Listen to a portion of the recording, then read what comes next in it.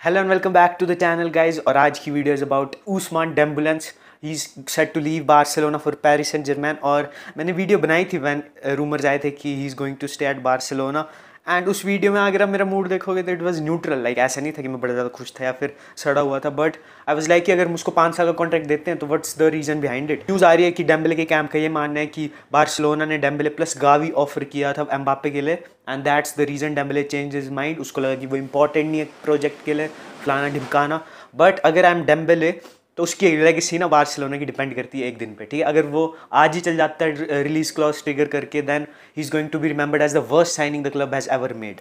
ठीक है? और अगर वो एक दिन रुकता है, दो दिन रुकता है, और क्लब के लिए सत्तर, अस्सी या सौ मिलियन मेक करता है then his legacy set for like eternity he is better signing than Coutinho than Griezmann he is the better signing of the Barto में द बेस्ट साइनिंग ठीक है?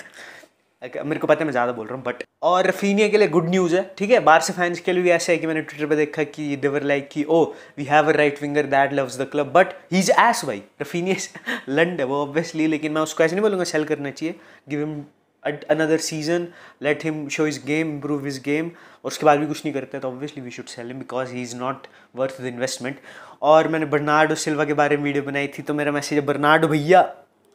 आ जाओ प्लीज़ बेंचो लोडे लगे पड़े आ जाओ आ जाओ प्लीज़ आ जाओ।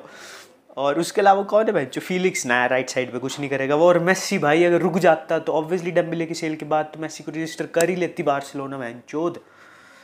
मेसी भाई वद द फक यार वद द फक बेंचोद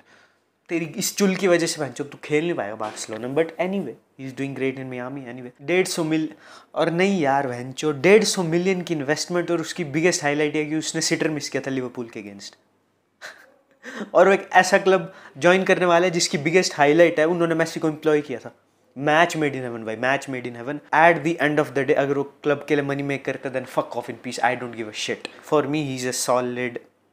six अगर वो अच्छे पैसों में जाते हैं तो अगर नहीं, अगर वो आज ही जा रहा है फिफ्टी मिलियन पच्चीस खुद लेके जाएगा, पच्चीस दे के जाएगा then he is a three at best उसने कुछ नहीं किया। आपके हिसाब से how do you rank him as a signing is ये फाइव इज़ ये फोर इज़ ये three do tell me in the comments and I'll see you in the next one. Peace.